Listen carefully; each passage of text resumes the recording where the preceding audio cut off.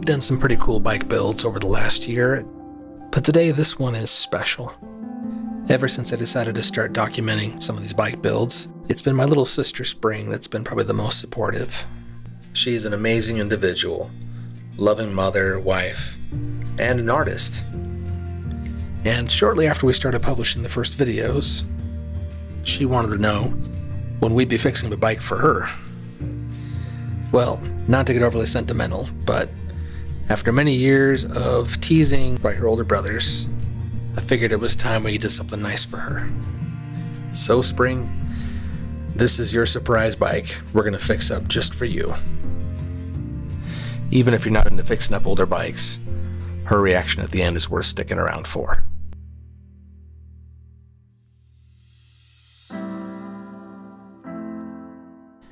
By the start of the 1960s, balloon tired bikes had been the rage for almost 20 years.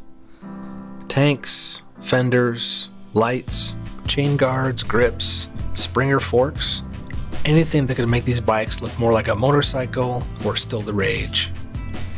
And yet, somewhere in the 1960s, that exaggerated style began to fade in exchange for lighter bicycles with more muted designs. There were still fenders and racks, chain guards, and even lights, but now function and lightweight riding qualities began to take more of a precedent.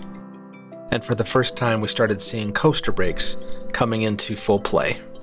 And that's where this little blue JC Higgins fell in. From the mid 1940s, clear through the 1970s, there was just a handful of manufacturers that made most of the department store bikes that you could find. Montgomery Ward, Sears Roebuck, Hawthorne, J.C. Higgins. These were all common names found in regular department stores and catalogs, and often many of the frames were built by the same manufacturer and then simply rebranded by the department store chain. And while this bicycle wasn't ridden too hard, unfortunately time and corrosion got to the batteries. After much scraping and sanding, unfortunately I was not able to save the light. We'll be replacing this one eventually with an aftermarket.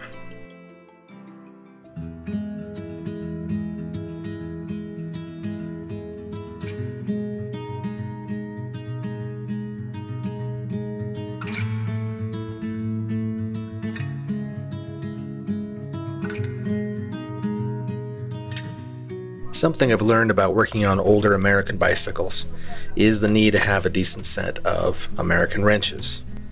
Most of us that worked in bike shops are used to metric and Allen tools. But when it comes to old frames like this, you'd be surprised just how many different American sized fasteners there are. When I finally made it down to the hardware store to replace some of these old bolts, I ended up with nine different sizes.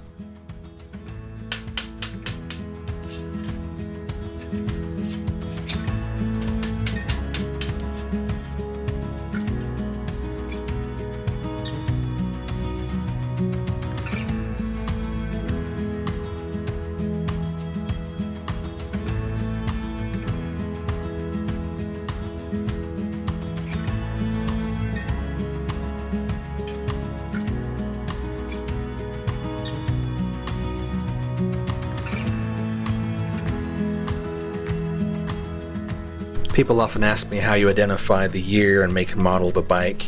If you take a look underneath the bottom bracket, there's often a serial number posted.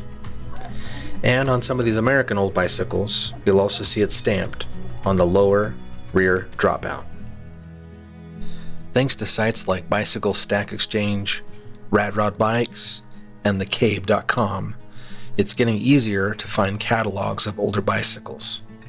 This will often tell you where it was manufactured, and even the month and year it was manufactured.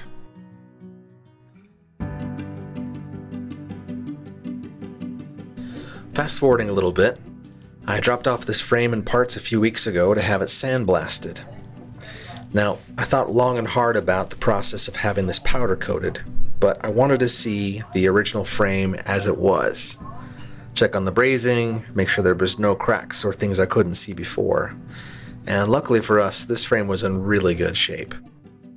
There was virtually no dents or dings in the frame itself, and the brazing was all intact. It's kind of cool to go back and look at the character to see how these things were done. Here you can see the dropouts were literally inserted into some tubing and then crushed shut using a type of press. Here a middle brace was used to hold the tanks and also adds some stability between the upper tubes and the lower tubes. After thorough inspection of the frame and the parts, the only thing we really needed to work on was the luggage rack on the back of the bike. Bondo time!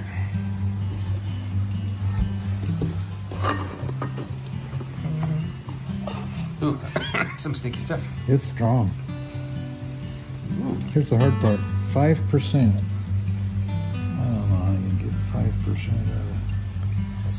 Accelerant. hardware. Yeah.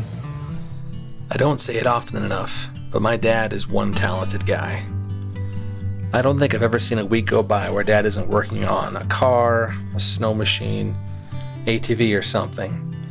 And when I asked dad about doing Bondo work, he's like, yeah, let's give it a try.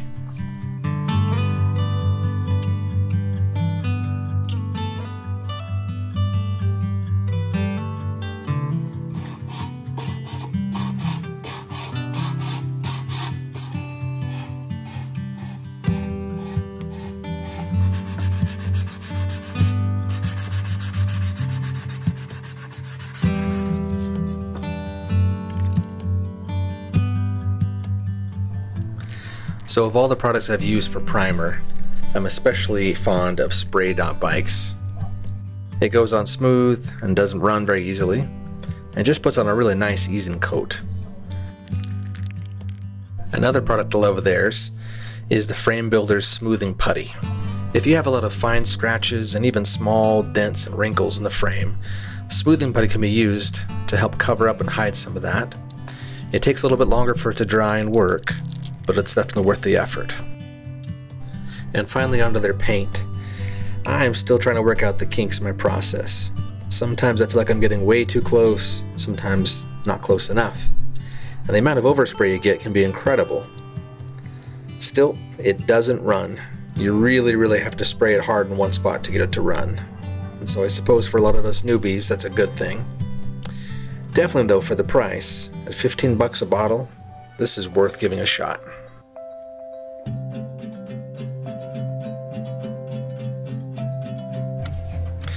Because the primer went on so smooth and had such a nice easy finish, it was easier to go with confidence in spraying these small parts.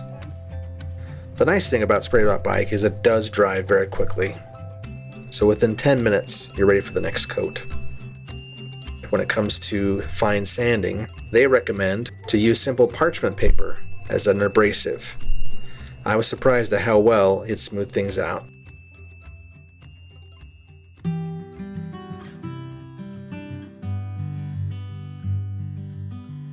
So early on in this project, I wanted to do something a little special for this paint job, and I knew that my skills were not up to the task.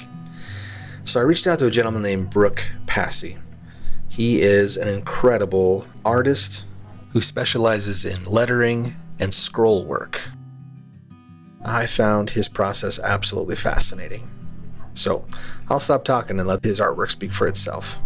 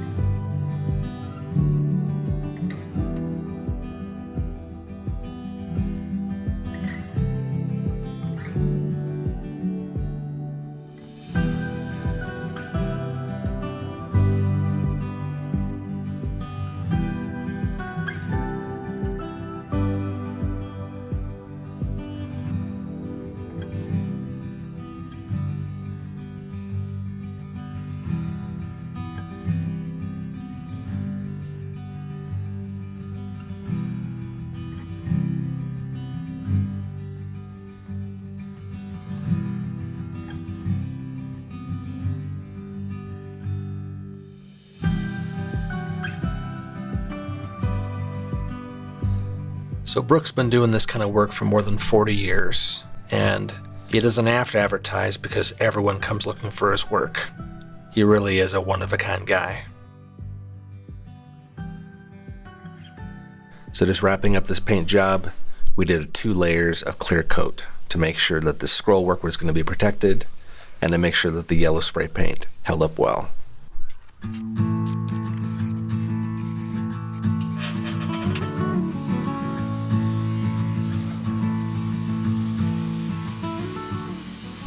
For years I've wanted to get a benchtop polishing disc. It is so much faster than just using steel wool and for all this chromed out parts that were getting a little dull, this lightweight polish made quick work of it.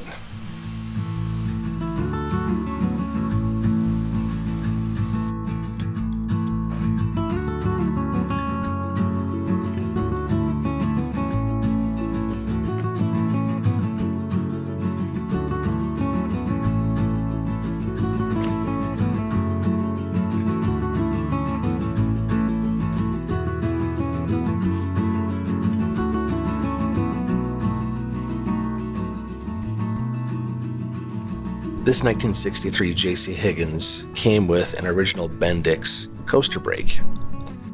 Almost all the parts were made of hardened steel. If you compare them to a modern day coaster brake, these would outlast them 10 to 1. Also unique to these is that the brake pawls are made of solid brass. So when you pedal backwards to brake, you had a softer metal on hardened steel and had a much better feel for the brake years ago when I rode a coaster brake bike for a long time, I was constantly braking the screw mechanism because it wasn't hardened. And the brake pawls would sometimes get stuck because they would overheat and fuse to the inside of the hub.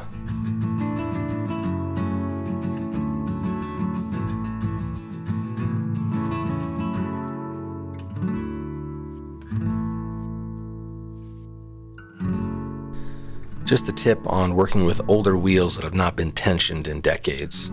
If you add just a drop of Tri-Flow on the top of each of the threads of the nipple, this will help get things spinning again so that the spokes don't break under tension.